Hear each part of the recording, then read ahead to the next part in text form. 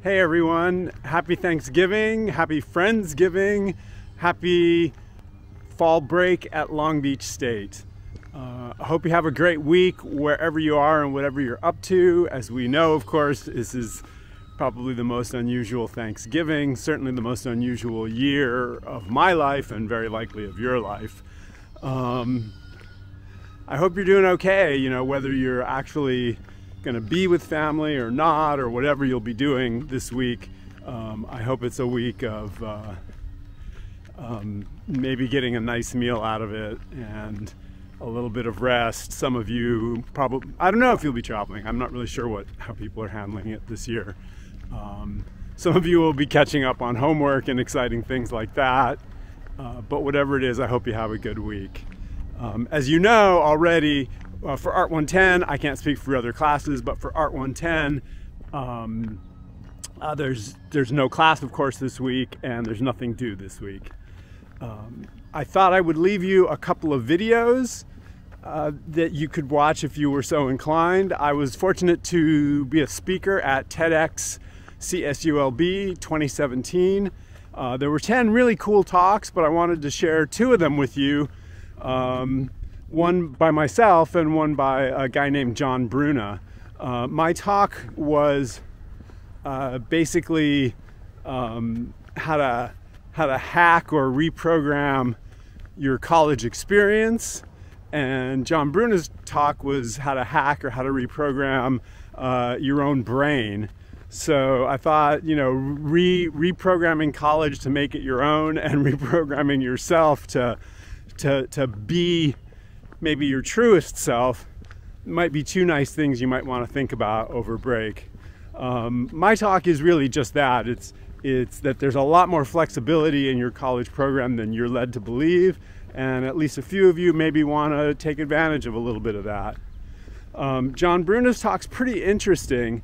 He um, his message is that, in a sense, if you've ever had a situation where something happens and you do something and then an hour later you're kind of upset with yourself and you're like, why did I do that? That's so stupid. And you wish you had done something different, uh, responded, uh, you know, more calm, more mature, or it doesn't necessarily have to be like a reserved thing. Maybe your friends were rock climbing and you were kind of afraid and you didn't join them and you wish you did. Maybe it could be you wish you were more outgoing. Whatever you uh, you you you made a response in a moment that that you wish you hadn't or that you don't think is your best response. And if you just sort of kick yourself and forget about it, you're going to do the same thing. Um, you know, fight or flight, this lower mammalian brain down here. And what consciousness is, you know, consciousness is a tiny part of our brain. It's not really the it's not a lot of what we do. A lot of what we do is kind of pre-programmed. Consciousness is for planning, working things out. Um, so if you want to respond differently next time that person who you always seem to scream at says something to you, you need to program in advance. So that's his message really, is that to be the person you want to be, you kind of have to make an effort to do that. The way he ends up telling that story, however, is through sharing his personal life journey, and it's an overwhelming story.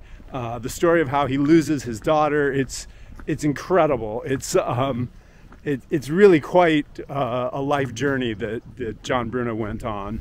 And I'm telling you this because his message about uh, about how to truly have free will is, I think, really important and powerful. But his story of his own journey is, is so powerful that it's easy to completely get absorbed in his story and miss the taking control of your own brain that he's trying to share with you. So anyway, here's two videos if you want to see them. Uh, one from me on uh, you know, reprogramming your college experience, and one from John Bruna on reprogramming your brain. Um, if I can help with anything over break or ever, please obviously shout out. Um,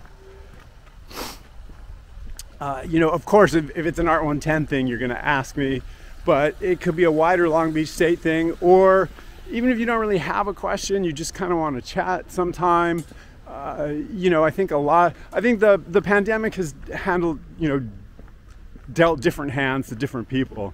For some people who have been fortunate to not be sick, not be economically hurt, and and maybe not be depressed about the whole situation, it's actually been a time to rethink things and maybe reorganize their life toward, you know, goals that they're more passionate about. So it, it you know, some people are like they they don't want to say because they're almost embarrassed in such a difficult time, but it's like it's been good for them. But I think there are a lot of people who have just had kind of a, you might say, mild depression. You know, it's just it's just kind of a bummer year. I think this will be a year that, that we remember for the rest of our lives, whether you're an old guy like me or even a young person like you. It's, it's obviously not the funnest year, but it is a year that, uh, that you know, kind of almost requires us to, to recalibrate what matters and what our priorities are. Anyway, um, I'm available to talk about anything, anytime.